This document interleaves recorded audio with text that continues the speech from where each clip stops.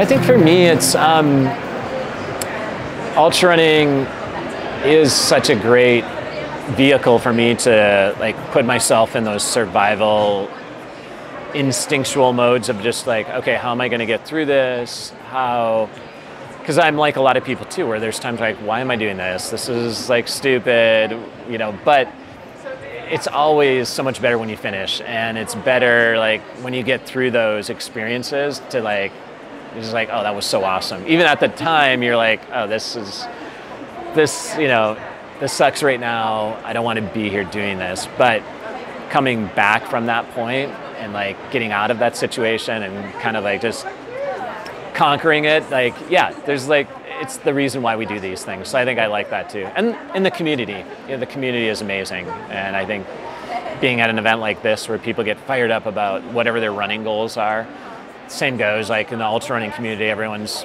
for the most part really encouraging and supportive and it's like a big family. I always have felt that.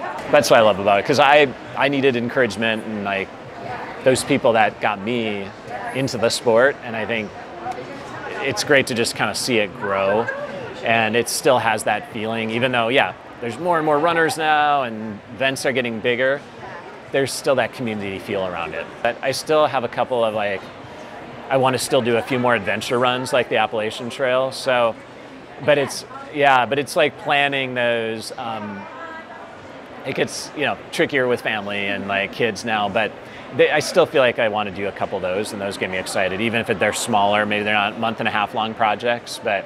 Do them with the kids? Uh, yeah, I mean that's the other element. That adds another piece. To, yeah, it takes, but um, it's been really fun, like getting out on bike trips. I biked with our kit.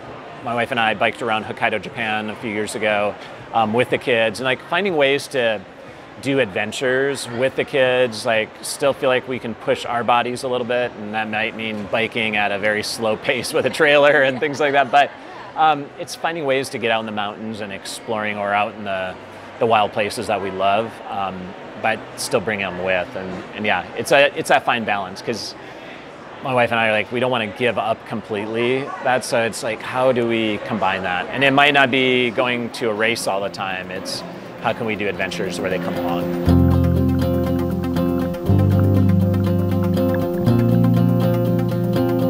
The thing I love the most is that you can find someone else that is an ultra runner, like on Instagram or social media, and you can message them and say, Do you want to go for a run with me? And they say yes.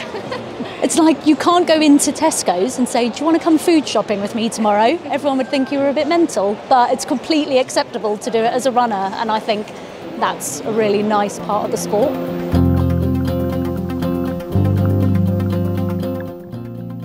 Honestly, I love the feeling, and I know loads of people say that it's addictive.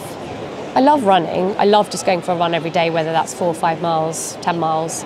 But I love an ultra. I love going to different places. I love seeing different places. I love all of that. And I don't mind if I'm running on my own, even in a race. I don't have to be around those people. But I love that feeling of accomplishment and the, the feeling afterwards. I mean, it's all to do with endorphins, isn't it? I don't know what it is, and it's just like a rush. Um, but I only get it from that. I've tried to find other things that give me that feeling. Ice cream. Yeah, it, yeah, it does, but it gives, gives that slightly disgusting feeling after a while when you've eaten too much of it. If you had an ultra's worth of ice cream, with an ultra, yeah, it's just, yeah, it's just the feeling. I just love it. I love feeling tired.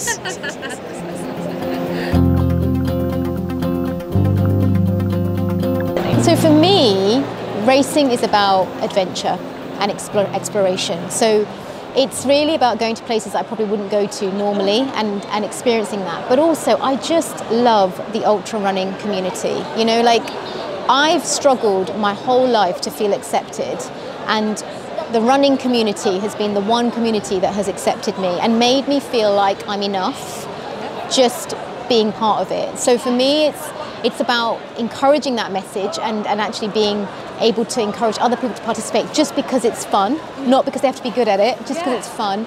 And, and just being outdoors, like I'm happiest when I'm outdoors, I'm happiest when I'm in the mountains or when I'm just in surrounded by beautiful locations. So that's what I'm really excited about this year is more and more little adventures. I think like the community of ultra running is, is really special. I don't think I've. It's a it's a different. I don't know. I've never quite been able to put my finger on why, but everyone in the ultra running community is just really.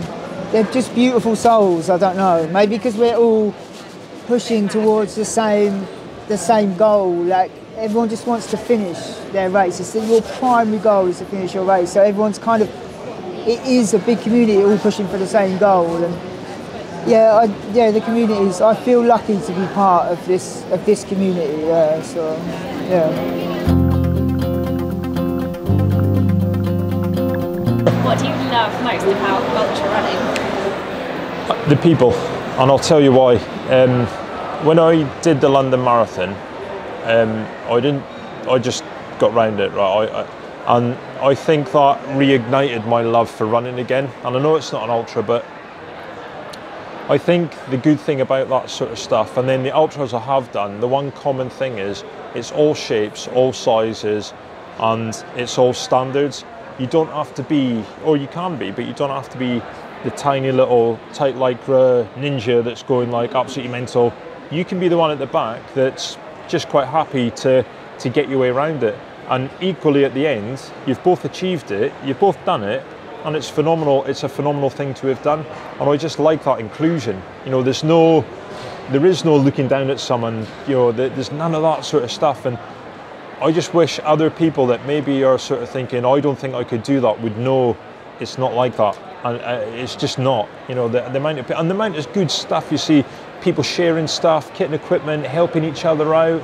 It's mega. I love it. I think it's so good. Um, so I would urge anyone, give it a crack. It's so good, honestly. Subscribe free on YouTube and follow me on Instagram for more gear tests and training advice. I also have a book out too for everything you need to know about trail running in one handy package, including more gear advice, nutrition tips, recipes, ways to beat injury, and training plans from 10k to 50k. Check it out here.